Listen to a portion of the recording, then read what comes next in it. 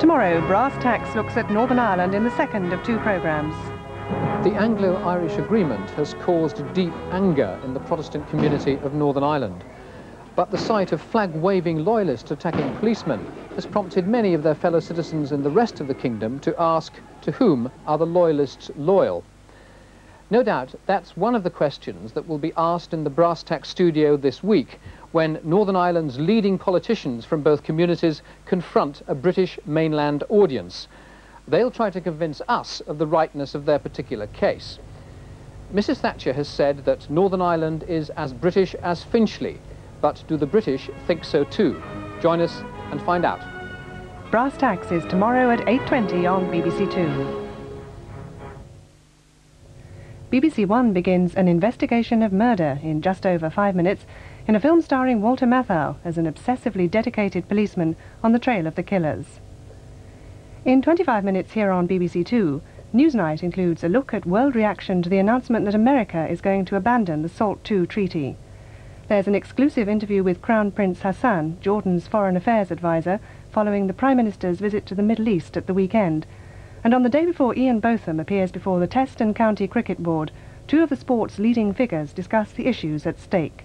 That's all in Newsnight at 10.45. Now on to David Allan makes the introductions as the stars sing country. Radio 2's Country Club with Wally Whyton features Johnny Cash recorded in concert at the Wembley Festival.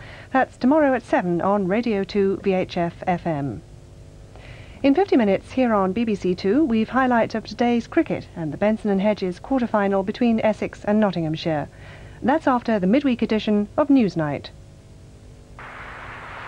They've travelled the last mile looking for agreement on strategic weapons with the Soviet Union. Now the Americans say the SALT II treaty could be a dead letter as soon as August.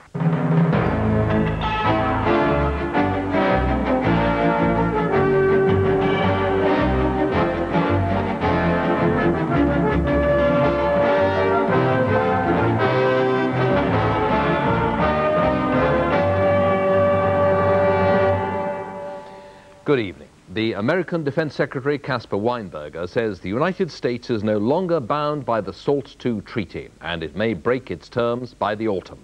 Moscow accuses Washington of a pile of lies designed to conceal its responsibility for the breakdown. Denzil Davies MP, Labour's defence spokesman and Lord Chalfont argue over the American decision and its possible consequences. And Crown Prince Hassan, Jordan's foreign affairs advisor, in an exclusive interview warns that failure to settle the Palestinian question is merely feeding religious fundamentalism and fanaticism in and outside the Middle East. And a blast of ill wind for the government from the traditionally moderate union of head teachers.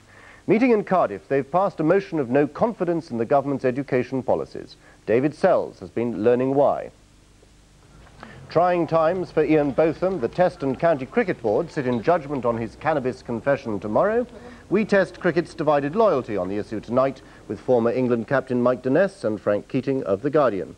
And all the rest of the news tonight, both home and abroad. It's a flawed agreement. We're no longer bound by it. We'll exceed its limits in three months. And with those words, the American Defense Secretary Caspar Weinberger, in effect, signed the death warrant of the SALT II treaty. Yesterday